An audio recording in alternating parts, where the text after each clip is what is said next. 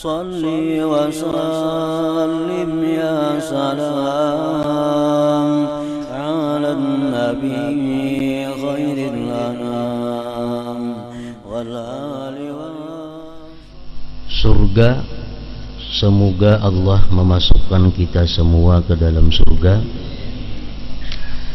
dan melindungi kita dari siksa neraka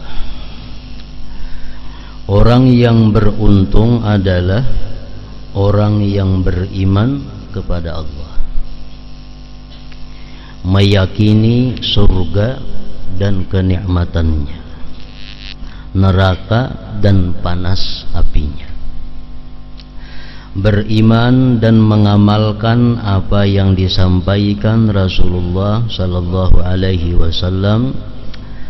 Takut akan ancaman siksa neraka mengharapkan kenikmatan dan kebahagiaan surga yang telah berulang kali disebutkan oleh Allah dalam kitabnya dan juga diriwayatkan dalam berbagai hadis. Sebagai contoh adalah wahyu Allah dalam surat Ar-Rahman berikut sampai akhir surat waliman khafa maqama rabbih jannatan dan bagi orang yang takut akan saat menghadap Tuhannya ada dua surga orang yang takut kepada Allah Subhanahu wa taala akan mendapatkan dua surga. Bermacam-macam ulama menafsirkan ayat tersebut. Ada yang mengatakan bahwa orang yang takut kepada Allah itu akan dapat dua surga. Pertama, surga di dunia dan yang kedua adalah surga di akhirat. Surga di dunia itu adalah ma'rifatullah, kenal kepada Allah Subhanahu wa taala. Dan wahyu Allah Ta'ala wasiqal ladhina attaqaw rabbahum ilal jannati zumara hatta idha ja'uha wa futihat abuhabuha wa qala lahum khazanatuha salamun alaikum tibtum fadkhuluha khalidin. Surat Az-Zumar 73 dan orang-orang yang bertakwa kepada Tuhannya dibawa ke dalam surga berumbung-rumbungan. Sehingga apabila mereka sampai ke surga itu sedang pintu-pintunya telah terbuka dan berkatalah kepada mereka penjaga-penjaganya kesejahteraan dilimpahkan atas kalian. Berbahagialah kalian. Maka masuklah surga ini sedang kalian kekal di dalamnya Di dalam kitab Tambihul Ghafilin disebutkan Miftahul Jannah Khamsatun. Kunci surga itu ada lima macam. Artinya bila lima macam ini ada pada kita Kita dengan mudah bisa memasuki surga itu. Yang pertama Ayyamna'a nafsahu min jami'il ma'asi bahwa dia mencegah dirinya dari sekalian maksiat.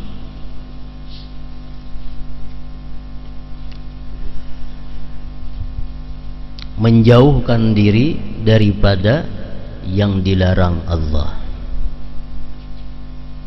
Kalaupun dia berbuat yang dilarang Allah maka segera dia bertobat kembali minta ampun kepada Allah karena kadang mungkin kita bisa sepenuhnya menjauhi yang dilarang oleh Allah.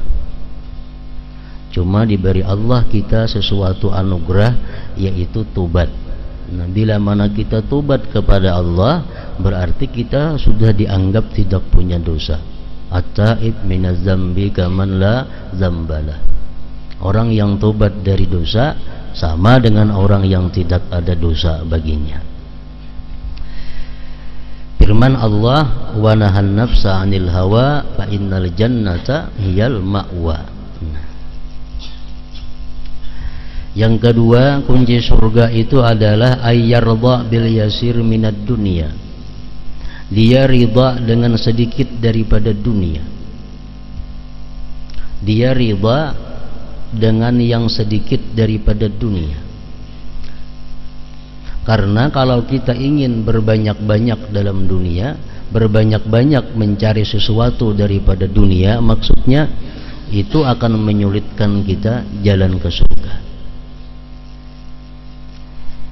Rasulullah mengatakan inna samanal jannah tarkud dunia. Harga sebuah surga itu adalah meninggalkan dunia jadi orang yang ingin dapat kunci surga itu salah satunya dia mesti ridha dengan yang sedikit daripada dunia ini. Yang ketiga ayyakuna harisan ala taat bahwa dia itu kepingin ingin atas berbuat taat. Selalu hendak berbuat taat kepada Allah Firman Allah wa tilkal jannatul lati uristumuha bima kuntum ta'malun. Surga yang diberikan kepada kamu itu dengan sebab yang kamu kerjakan di dalam dunia. Yang keempat kunci surga adalah ayyuhibbas salihin. Dia cinta kepada orang-orang saleh. Cinta kepada orang-orang yang takwa kepada Allah. Suka berkawan, suka berkumpul uh, dengan orang-orang yang saleh. Yang kelima, ayyuk sirat du'a wa yas'alallah ta'ala al-jannah. Dia banyak berdoa minta kepada Allah agar diberi Allah surga. Nah, itu lima ujar di dalam kitab Tambihul Ghafilin tadi merupakan miftahul jannah kuncinya surga.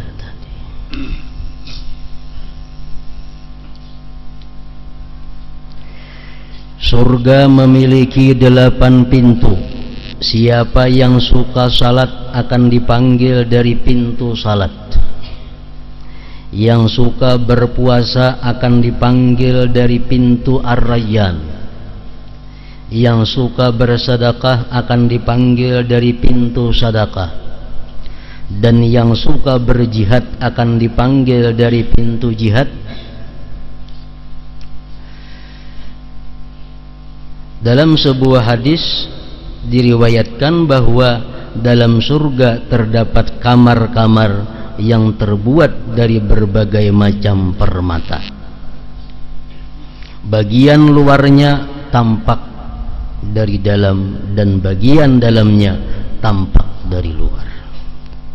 Di dalamnya terdapat karunia dan kenikmatan yang tidak pernah disaksikan oleh mata, tidak pernah didengar oleh telinga, dan tidak pernah terlintas dalam hati manusia. Itu surga. Orang yang suka sembahyang akan dipanggil masuk surga melalui pintu salat Artinya orang ini banyak melakukan sembahyang berbagai macam sembahyang sunat selain yang fardu dilakukannya. Artinya orang ini hobinya, kegemarannya, kesukaannya salat.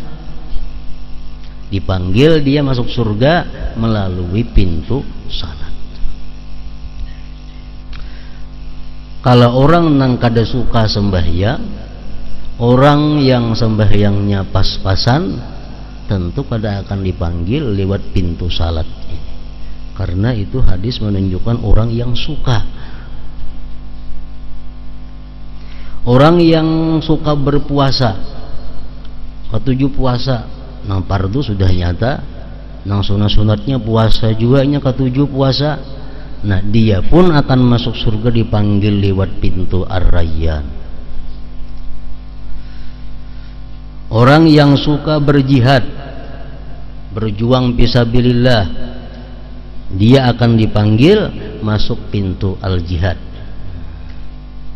Coba kita membayangkan Sembahyang kita tetapi suka Dalam pintu sembahyang kita sudah lepas. Puasa kita nang pardunya aja puasa sunat kada suka bisa lepas dipanggil dari pintu puasa. Bersedekah kada suka juga kecuali ada perlunya ini sudah lepas kada akan dipanggil daripada pintu sedekah. Berjihad fisabilillah sudah kada juga kada akan dipanggil dari pintu jihad fisabilillah jalan mana kita masuk ke surga itu? Jalan mana kita kayaknya masuk ke surga? Amun sebuting-buting kita kada nang sukanya. Sembahyang kada suka puasa kada suka jihad kada ada sedekah kada suka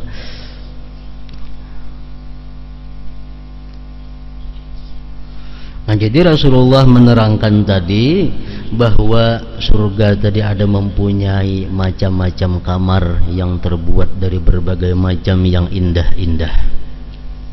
Yang kada pernah dilihat oleh mata dalam dunia ini didengar oleh telinga terlintas di hati kita pun kada pernah macam itu. Indahnya bagusnya kamar-kamar yang ada di dalam surga